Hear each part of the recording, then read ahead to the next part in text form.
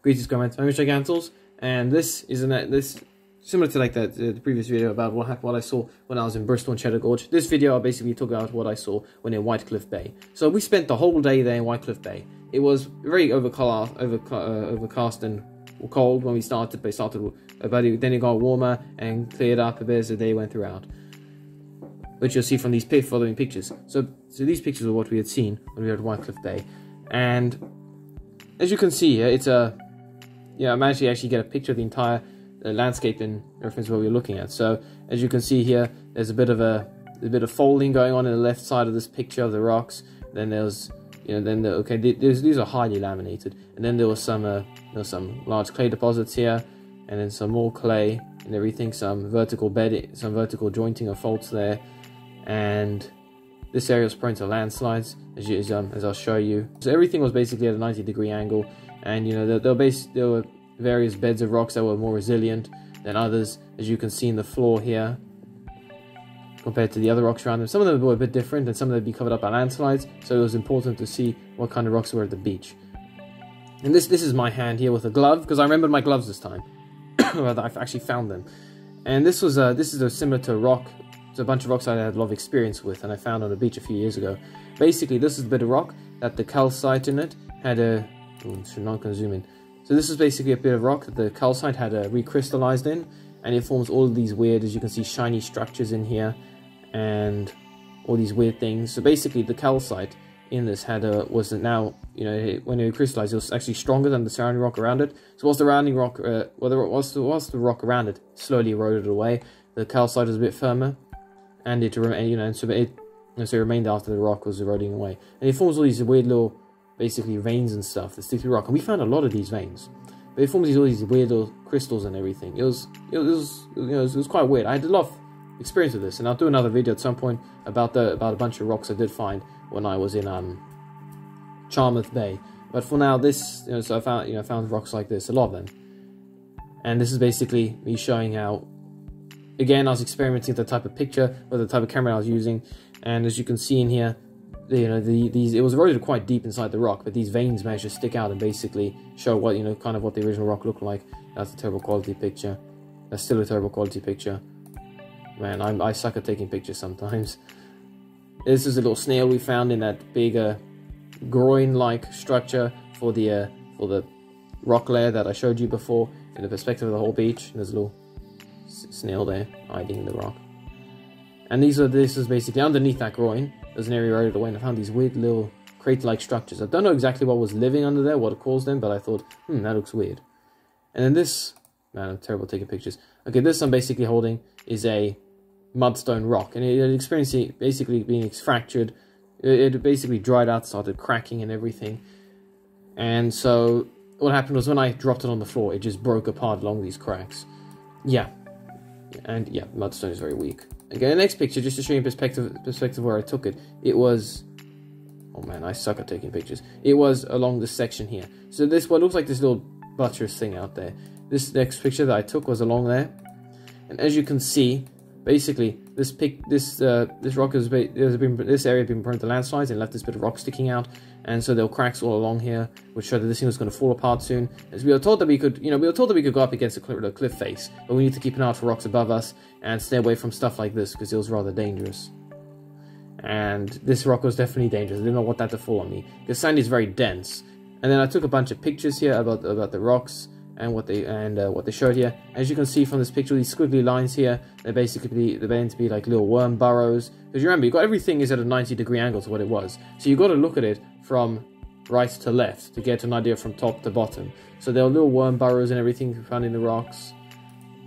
You know all that. I tried to get closer up picture, but I fear it may have been really bad, but you could see just how many there were. And we had to keep you know, be careful because sometimes when the clay is uh, is washed out of the rocks by the rain, it can uh, and then when the water evaporates, it leaves these like little globules and trails and everything, which is what some of these actually are. So we have to keep an eye out that you know we won't take we won't get confused between worm burrows and that.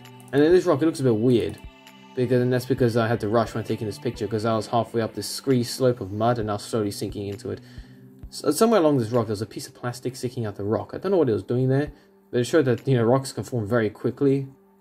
I mean, I don't know how that even that piece of plastic even got in the rock. Maybe dinosaurs could uh they used plastic before us. Haha.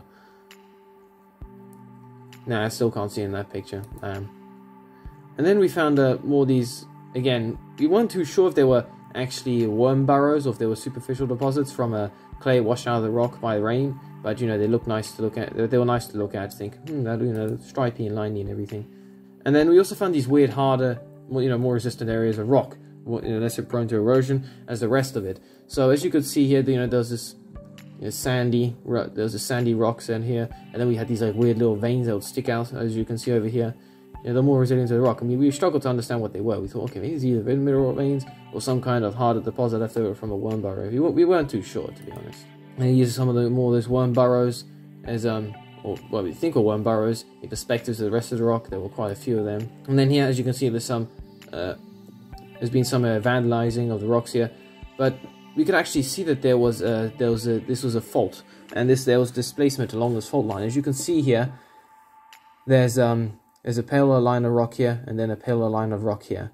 And that's basically because this section of the rock had moved, the top section of rock here had moved to the, it sunk, it moved down to the right, Basically, this is an indication this thing had previously been, previously been uh, seismically active as it moved. And some of these fan, these fan, this vandalization was actually important because it showed whether or not um, because if this vandalization, like if there was a name here and that part of that name was here and part of the name was here, then we would know that this was still an active fault because this this rock erodes somewhat quickly, and if that would mean that if these things, if these this is vandalization is still here even after this this rock had been displaced, then it showed that that displacement was recent. And then there's just some more rock I took or basically just it was with some of this rock. Like there was an overhanging feature here, and we thought that we found more fossils in the rock below it, but we weren't too sure. And if all these like weird little caves and stuff. We had to keep an eye out for rocks that were falling from here, because this actually did happen. There were pieces of rock and gravel and clay that were falling from the cliffs above us, and we had to keep an eye, an eye out for that. I continuously had to keep an eye out for when I was going near these this, this cliff face, looking up at the rocks, because I was somewhat concerned that the, rock would fall, would fall on me. And sometimes pieces of rock, I could actually feel bits of, you know, clumps of clay and sediment falling onto my helmet that I was wearing, which every time that happened, I jumped back to make sure I was safe. And again, this is more when we, we, we weren't sure if it was either clay, superficial clay deposits or worm deposit or worm burrows. You weren't again, they're, they're everywhere. It, it really bugs me how many there were because we weren't too sure exactly what they were talking about. Here's some more, but this whole section was made of sand. You know, there's all that. And then, and then there's some more again trying to put trying to put this into perspective because again, all the, all the, the rain really messes this up because we can't tell what's worm burrow and what isn't. But then again, this this probably was a later deposit because there's stick sticking out of that and that wasn't fossilized or just wasn't preserved. And then we found some, and then here's evidence of basically what we what we feared. You know, bits of clay washed down the rock face by rain. There's just some laminations, and then there was this there was this thin layer of of of, of rocks here in that hematite. Uh, cement that I was talking about, which we then uh, took, which, which we then took a closer look at. It was it was very thin. You can see my shadow here, and um, it's basically trying to say, okay, so maybe this was laid down during some kind of a flood event. It was it was very thin, so it wasn't too it wasn't too long or prolonged experience, event. But that, that so basically, I found this and I was very proud of it. And this is the best better, better picture I took of it. And here's some more clay deposit. Here's some more clay washed down the rock face by rain. But that clay bugs me in that sense. And then there's these weird things sticking out of the rock face. I wasn't sure if they were fossils or something, but you know they were here. So in like this little, so in this in this little uh, enclave, here, you know this like this little section here, as you this hole. We, I took try to take as close picture as I could, and I found these little weird things sticking out the rock. I wasn't too sure what they were. They could be roots. I don't know what. And then we found more of these uh, Again, we couldn't be too sure if they were worm burrows or clay. Damn it, Rain, you're messing this up. And my friend found a whole bunch of these gypsum crystals behind these uh behind this mud. So this this muddy layer, as you can see next to the rocks. He was basically looking at the rocks next to that, and uh, and he basically found all these like little yellow gypsum crystals that had been left behind when the sea retreated, and they were everywhere. Just look at all these little radiating acicular stuff. It was it was quite it was beautiful to look at. You all these little little crystals all gathered together regardless of the conditions that they were formed in. It was absolutely amazing. And then I started tearing apart this part of the cliff face, of taking out huge chunks of the mud, trying to because this was basically mud. It was dry stuff. I was, you know, what what used to be. it was desiccated now, you know, dried out. So I was tearing away these lumps of the cliff, trying to get to the stuff beneath it. Beneath it, and this, this here, this line here is actually a single gypsum crystal that I had found. It was very large. So you have all these little ones here, but this was a large one. This was like this was like a over a centimeter long. And if you put into, put it into perspective, all these crystals here were maybe half a millimeter long. They were absolutely tiny. But these, this one here was huge compared to this perspective. I know it sounds tiny, but again, these crystals are, it's, it's hard to find them. They're so, they're so small. And again, you can see more of these gypsum crystals, these weird lines all along here. Very, very, very tiny. Or stumps of them sometimes. But they're, they're all over the place. So many gypsum crystals. And here's some more I found. Oh, grief. Please tell me I got a better picture. Yeah, okay, there you go. So, you know, some more gypsum crystals radiating outwards. Again, no more than a centimeter long. Absolutely beautiful to look at. Because it was so... These crystals were so thin and so fragile. Yet they'd been, they'd been kept here and exposed by me ripping apart the, the rock face. Fun. And then here, because the angle of the sun, it actually made the shadow stick out a bit more. As you can see, more gypsum crystals here, which I was happy to find. And then this was the first of the turbidity uh, current uh, deposit, the turbidite deposit that we had found. And you can see, various fossils all over here. This one is very, very thin. And then, uh, you know, various clamshells and everything found in them. And then these, then there were two more beds. So there was another bed next to this one, which was this wider bed, very sparsely uh, uh, placed the fossils. And then there was a much thick, there was a much, there was a thinner bed, but much more densely packed. And I'll get onto that in a second. So as you can see here, they're, here, the two of them. There's, there's the, fossil bed here, and then there's another one over there. You can clearly see the fossils in here. But I had to be careful because this was very fragile rock. And this was a very dense deposit here. As you can see, there was there were hundreds of these fossils, these clay fossils, these uh, the hundreds of these clam fossils in here. And I'll try and find close pictures. Is close, close picture? Yeah, you can see all the clam shells and everything. So this place used to be a shallow ocean. All the clams were living. And then this was the then this uh, it all led down here and then finally onto this like drier area. So there, there were fossils in here too, but they were harder to find because they were in drier rock, and that was very hard to break. And then here's a bit of, I had to keep an eye out about this clay up here because that didn't drop on my head, especially when I was chipping away at the rock face with my, with a basically a bit of rock there. And the, and the, problem, the problem was we couldn't really go beyond this section here because after this bit of rock here, is in this corner, it was basically just a huge landslide, a huge uh, landslide deposit. So you could look, you could look down, no, you could look further up the cliff, and you would see maybe it would go back for 20 meters, and then you'd see a bit of a fence had been, you know, they'd been fenced off, and then there was a bit of a fence hanging down, and bits of rocks fall, uh, had fallen in. So this is all had basically slumped and fallen down. So it really messed up our trying to us trying to find the rock, the sedimentary logging, which we went, we were meant to try to do, but we couldn't because half the cliff face was buried under this rock. And then here is important. As you can see, there's closely packed laminations in the rock here, and then there's weird shaped one here, and then some more closely packed laminations here. And the reason why is because this area used to be seismically, seismically active. And so sometimes, when, when the earthquakes uh, occur, they cause all the they cause the water saturated ground to uh, to start moving, which causes which forces the water out of it, which can mess up the sedimentary layers uh, above it. And so what happened here was, it was an earthquake that caused basically water to seep from this from the rock underneath this, uh, to seep from the rock underneath all this into the sediment into the sediment above, which formed all these weird bumpy stuff here. Now, brilliant explanation here, but it was it was quite high, so you had all the water being pushed, forced out of the ground here, and then pushed upwards here.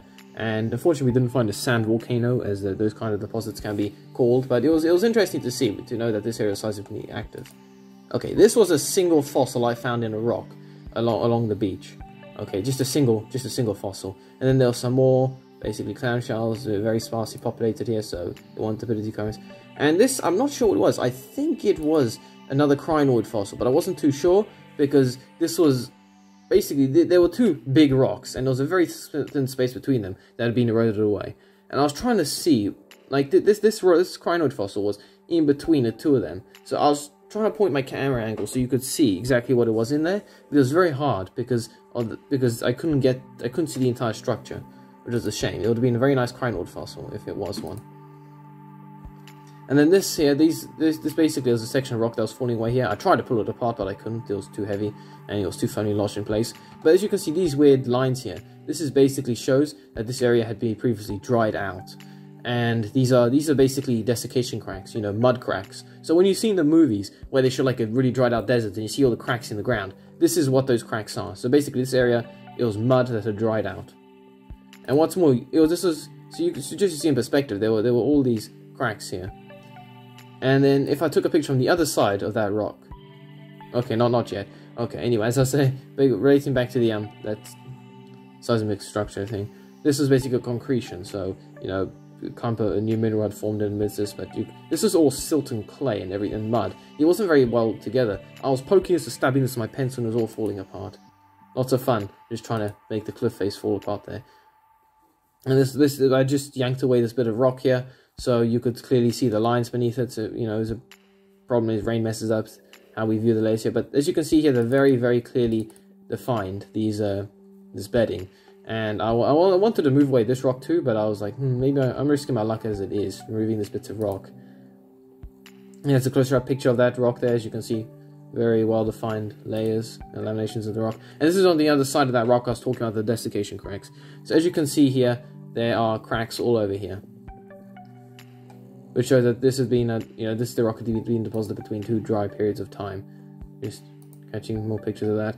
And this was again relating to what I said before in um on the, the very first the beginning of this. This was all limestone, and we could tell because when you looked at it, this was the exact same color as that the rock there we found. And then here was some of those calcite crystals had that had reformed here. I'm not sure exactly sure when, but it, uh, you know, it's fractured here and know, they, they, they just formed. These crystals are actually really sharp. I'll show you at another point just how sharp they can be. But, that, basically, that was what we had seen at Whitecliff Bay. And uh, it was nice to look at. I mean, I try. It's, it's you know, it was quite it was quite interesting to look at to see all this sort of stuff. But th these are all soft rocks, so all claystone, you know, clay, uh, claystone, uh, uh, siltstone, mudstone, sandstone, all, you know, all the weak stuff. Hopefully, we'll get onto the much firmer stuff. But then again, if I find fossils in those, on the bright side, they'll be harder and to break.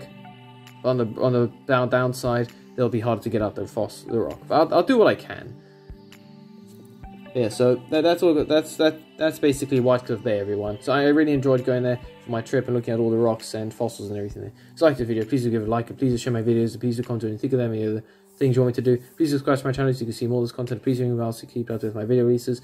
Next episode, I'll uh, probably talk about my uh, more rocks that I found, or when I went to the uh, when I went to my the rest of my trips this week. Hopefully, you guys will enjoy that and look at these rocks with me. Anyway, see you next video, comrades. Until then.